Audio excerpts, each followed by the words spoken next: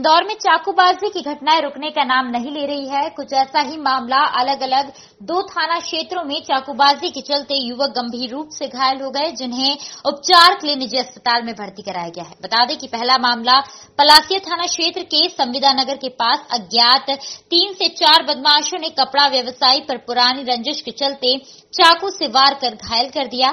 बीच बचाव करने आए एक अन्य युवक भी वारदात का शिकार हो गया।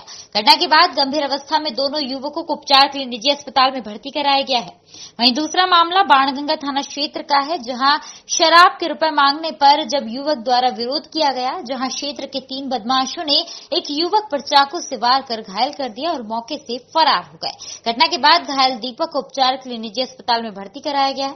फ़िलहाल दोनों ही मामलों में पुलिस ने प्रकरण पंजीबद्ध कर आरोपियों की तलाश शुरू कर दी है। अब ये सवाल खड़ा होता है कि बदमाश आए दिन चाकूबाजी की घटनाओं को अंजाम देते रहते हैं जिससे साफ़ नज़र आता है कि पुलिस का खौफ अब इन बदमाशों के दिल से निकल चुका है। नाम बताओ भैया आपका। आशीष पांडे।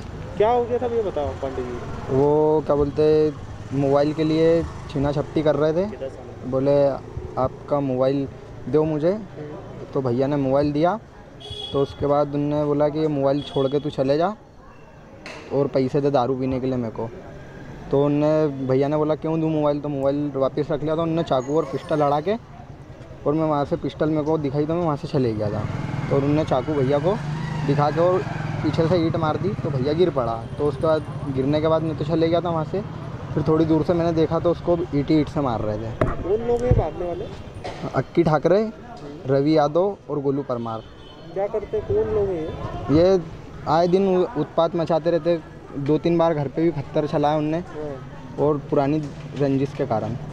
क्या नाम है आपका? आशीष पांडे। आपको क्या करा था उन्होंने पिस्टल दिखा के मेरे को डरा दिया था उन्होंने। आपके भैया जी को लगी उनका क्या नाम है? दीपक गित्तर दोनों सगे भाई हैं। सज्ञा भाई ने मौसी का में? अभी तो जानकारी अभी हमें यही आई थी कि एक रा, राहुल है ना? राहुल आहूजा और प्रियंका आहूजा है। इसके साथ चाकूबाजी की घटना हुई है।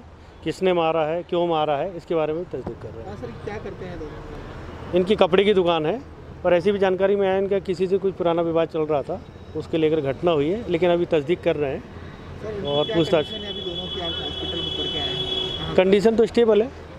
कंडीशन तो ठीक है। सर कपड़े की दुकान अंदर मतलब शॉप में ही मारा या घर जा रहे थे उस समय मारा नहीं कपड़े के यहाँ पर ये था इनका कुछ विवाद हुआ उसके बाद मारपीट हुई।